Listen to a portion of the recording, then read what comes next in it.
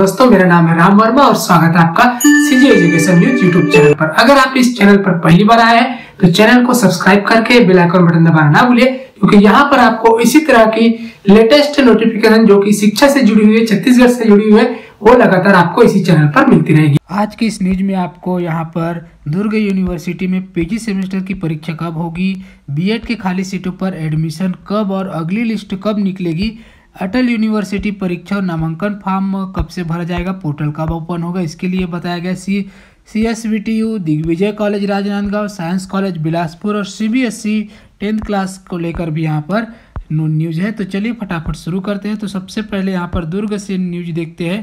तो हेमचंद यादव विश्वविद्यालय की कुलपति डॉक्टर अरुणा पल्टन ने सभी प्रिंसिपल्स की ऑनलाइन बैठक ली और बैठक में कुलपति ने प्रिंसिपल को जानकारी दी कि यूनिवर्सिटी द्वारा रेगुलर स्टूडेंट की प्रथम और तृतीय सेमेस्टर की स्नातकोत्तर परीक्षाएँ जनवरी 2022 के दूसरे हफ़्ते से आरंभ होना प्रस्तावित है। डॉक्टर पल्टन ने सभी प्राचार्यों को निर्देशित किया कि वे सभी स्नातकोत्तर कक्षाओं के सेमेस्टर पाठ्यक्रम को दिसंबर माह के अंत तक पूरा कर ले।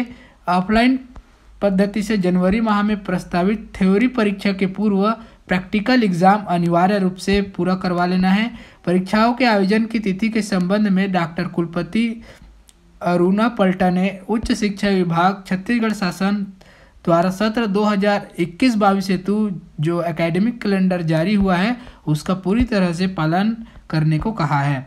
कुलपति ने समस्त प्रिंसिपल्स को इस बात के लिए भी निर्देशित किया है कि वर्तमान में शैक्षणिक सत्र में एडमिशन लेने वाले सभी स्टूडेंट के नामांकन की प्रक्रिया पूरी करा ले। बीएड कॉलेज के प्राचार्यों द्वारा प्रथम सेमेस्टर में एडमिशन की प्रक्रिया एससीआरटी रायपुर द्वारा सात जनवरी तक जारी रहने की जानकारी कुलपति को दिए जाने पर कुलपति ने कहा कि बीएड प्रथम सेमेस्टर की परीक्षाएँ स्नातकोत्तर सेमेस्टर के साथ आयोजन करा पाना संभव नहीं होगा। अतः बीएड की प्रथम सेमेस्टर की परीक्षा फरवरी 2022 में आयोजित करने का यूनिवर्सिटी प्रशासन प्रयास करेगा। बीएड में एडमिशन के लिए दूसरे चरण की पहली लिस्ट जो है, पिछले गुरुवार को दो दिन पहले जारी हुई थी। पहले चरण के बाद करीब पाँच हज़ार सीटें बची थी। सभी सीटें आवंटित की गई। डीएलएड की दूसरी लिस्ट चार दिसंबर को यानी कि आज जारी होगी।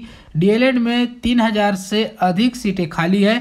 पिछले कुछ वर्षों से बीएड की डिमांड बढ़ी है। इस बार भी बीएड के करीब साढ़े चौदह हज़ार सीटों के लिए छियासठ हज़ार से अधिक छात्रों ने प्रवेश परीक्षा दिया था। बीएड की काउंसलिंग में भी बड़ी संख्या में स्टूडेंट ने आवेदन किया। पहले चरण की काउंसलिंग के बाद करीब पाँच हज़ार सीटें खाली थी। दूसरे चरण के लिए आवेदन मंगाए गए।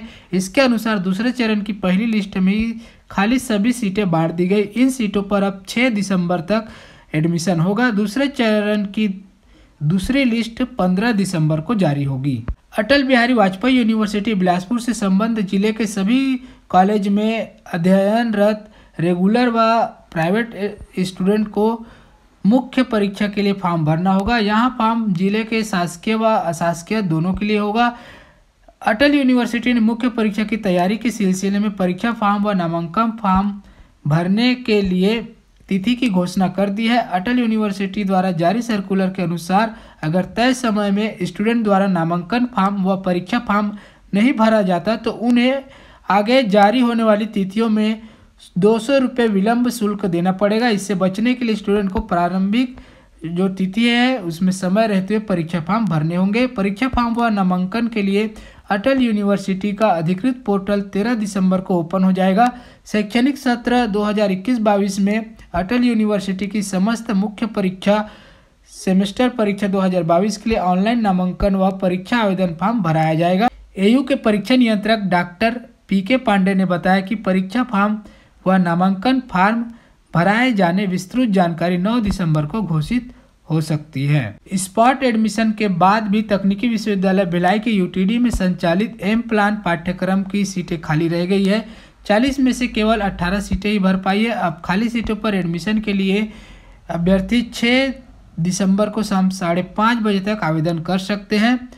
अभ्यर्थियों को पाँच सौ रुपये शुल्क के साथ आवेदन करना होगा। सी एस टी भिलाई के एम प्लान कोर्स की रिक्त सीटें सीजी कोटा के लिए बाईस है, जिसमें अनारक्षित वर्ग के लिए छः ओबीसी के लिए चार तथा एससी के लिए चार और एसटी के लिए आठ सीटें हैं। यदि एडमिशन के लिए पीएच फिजिकली हैंडीकैप्टेड उम्मीदवार उपलब्ध नहीं होते तो अनारक्षित वर्ग को प्रवेश आवंटित कर दिया जाएगा। सत्र 2021-22 के लिए शहरी नियोजन में दो वर्षीय, चार सेमेस्टर पूर्णकालिक एम प्लान पाठ्यक्रम में प्रवेश के लिए सभी पात्र उम्मीदवारों के लिए तकनीकी विश्वविद्यालय ने आवेदन आमंत्रित किया है। पाँच सौ रुपये शुल्क भुगतान के लिए अभ्यर्थी दी गई वेबसाइट या क्यू आर कोड का उपयोग कर सकेंगे। सभी यूपीआई ऐप से भुगतान स्वीकार किए जाएँगे। छत्तीसगढ़ स्वामी विवेकानंद तकनीकी विश्वविद्यालय के एम प्लान कोर्स में प्रवेश के लिए अभ्यर्थियों को सभी दस्तावेज़ शामिल करना होगा, जिसमें दसवीं, बारहवीं मार्कशीट, ग्रेजुएशन की सेमेस्टर मार्कशीट, ग्रेजुएशन का degree certificate, GATE score card domicile certificate जाति प्रमाण पत्र प्रयोजन प्रमाण पत्र यदि लागू हो तो प्रवासन प्रमाण पत्र अनुभव प्रमाण पत्र गैप अगर गैप किया है तो आदि आवेदन के साथ सबमिट करना होगा ज़िले के सबसे बड़े महाविद्यालय के रूप में शुमार होने वाले स्वशासी शासकीय दिग्विजय महाविद्यालय में आखिरकार स्थायी प्राचार्य की नियुक्ति कर दी गई है उच्च शिक्षा विभाग द्वारा जारी किए गए आदेश के बाद नव नियुक्त प्राचार्य ने आज पदभार ग्रहण किया है। महाविद्यालय में स्थायी प्राचार्य की नियुक्ति हो जाने से अब विद्यार्थियों को राहत मिलेगी। लंबे समय से स्थायी प्राचार्य की मांग यहाँ पर हो रही थी। तो डोंगरगढ़ महाविद्यालय में पदस्थ रहे डॉक्टर एल टांडेकर को प्रचार की ज़िम्मेदारी यहाँ पर सौंपी गई है। बिलासपुर की बात करते हैं तो शहर के अग्रणी साइंस कॉलेज का ए ग्रेड का तमगा छीन गया है। साइंस कॉलेज को राष्ट्रीय मूल्यांकन एवं प्रत्यायन परिषद, नैक, ने 2.68 अंक के साथ बी प्लस ग्रेड मिला है। हालाँकि प्रदेश अभी तक कॉलेजों की हुई नैक ग्रेडिंग में सबसे ज़्यादा अंक साइंस कॉलेज को मिला है, फिर भी ग्रेड कम हुआ है क्योंकि प्रदेश में सबसे ज़्यादा ए ग्रेड वाले कॉलेज अटल यूनिवर्सिटी से संबंध थे, पर ये भी अब कम होते जा रहा है। इसके पहले Bilasa girls college B A से 2.53 अंक के साथ बी प्लस ग्रेड हो गया है।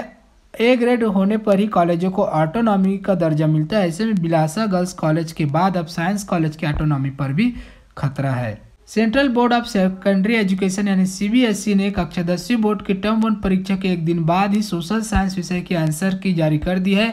परीक्षा में शामिल होने वाले स्टूडेंट आधिकारिक website C B S academic dot N I C dot in पर विज़िट करके सोशल साइंस के पेपर के आंसर की चेक कर सकते हैं। परीक्षा खत्म होने के बाद पीडीएफ और वीडियो के रूप में आंसर की जारी की गई है। तो ये था दोस्तों, आज की डेट में छत्तीसगढ़ की शिक्षा से जुड़ी हुई सभी खबरें, ये खबर आपको कैसी लगी, अच्छी लगी तो लाइक कीजिए और ऐसी लेटेस्ट अपडेट के लिए चैनल को सब्सक्राइब कीजिए। धन्यवाद, मिलते हैं अगले वीडियो में।